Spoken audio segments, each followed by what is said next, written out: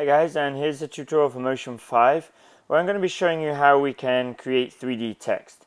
Uh, this is going to use the mObject plugin available from Motion VFX. Um, so if you don't have it, it's definitely worth getting hold of. If you want to work with 3D objects in motion, it's the way to go. Um, there are ways of creating a 3D type text effect in motion using the standard tools but um, 3D editing and 3D text and extrusion tools really is not something that Apple um, included in Motion. It's not meant really to be a 3D editing software.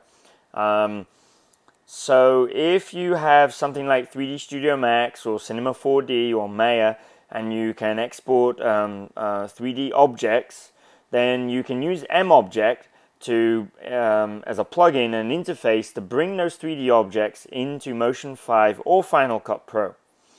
Um, it also has a built-in um, text, the 3D text editor, which allows you to generate 3D text, true 3D text, in uh, Motion 5 that you can spin around and you can move the camera around and then you can add all of your other types of um, usual motion visual effects to it. So I'm going to show you how to do that. So uh, if you've already got hold of mObject and installed it in Motion 5 under Generators, you'll find Motion VFX, you'll find mObject. So we'll add one of those to our scene there.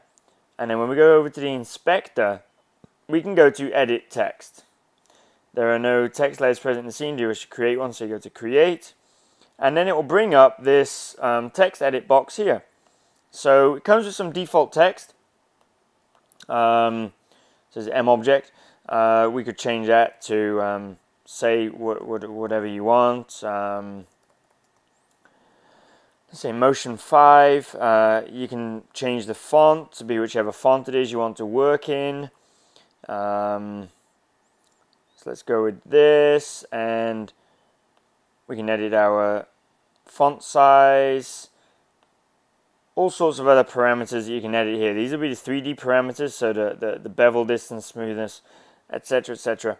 So, if we add a camera to our scene and switch to 3D, you can see now we can begin to spin around this 3D text here.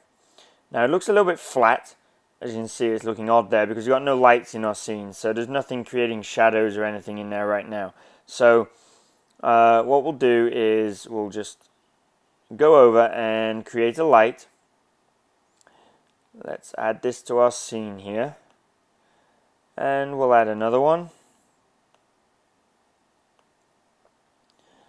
And another one, let's say here.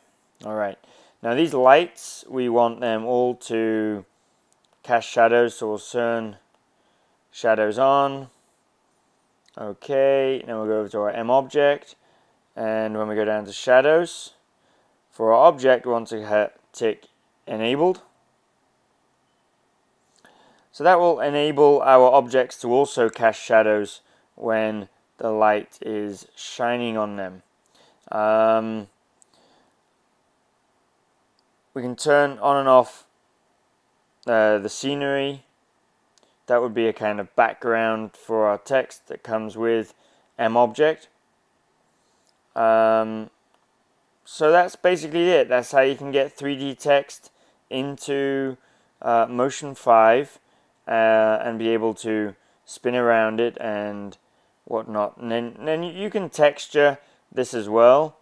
See if we go over to um, edit our scene. We can add a texture then to this text. So come down to the shaders here. Let's say let's go for pink plastic and we just drag that onto our object there. And there now we have a pink plastic um, text. We turn on our scenery lighting. So then we get a kind of reflection of the scenery that's around us. We can change the scenery to be something else. Gives us different types of lighting effects and reflections. So when you've got what it is that you want, let's go with this. Uh, sorry, I forgot to apply that. Go to OK. Alright. So we're going with some clouds, kind of sky here. So there's our um, text now in our pink plastic. We hit OK, that'll update our scene. And there we have our pink text here in Motion 5. And that's uh, how we can create real 3D text here. And then, of course, you can animate this as you would animate anything else in motion just using a normal keyframe animation. Um, it's a little bit render intensive, so you may want to turn down the, the render quality so that um, it's, it's, uh, doesn't slow down your machine too much. This is a little bit slow also because I'm also doing screen capture recording at the same time. But uh, that is a basic um, introduction to uh, MObject. There's a lot more you can do with it. Um, if you head over to motionvfx.com, you can purchase the MObject plugin there, and they've got loads of tutorials also showing you um, what you can do with, with, with MObject. It's really quite a cool plugin. This is just a, a quick kind of introduction to how we can create uh, real 3D text in Motion 5 and uh, be able then to apply all of our usual motion effects or you could integrate this to um, your video sequence.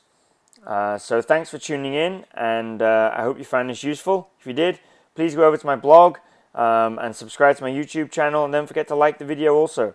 Uh, thanks for tuning in.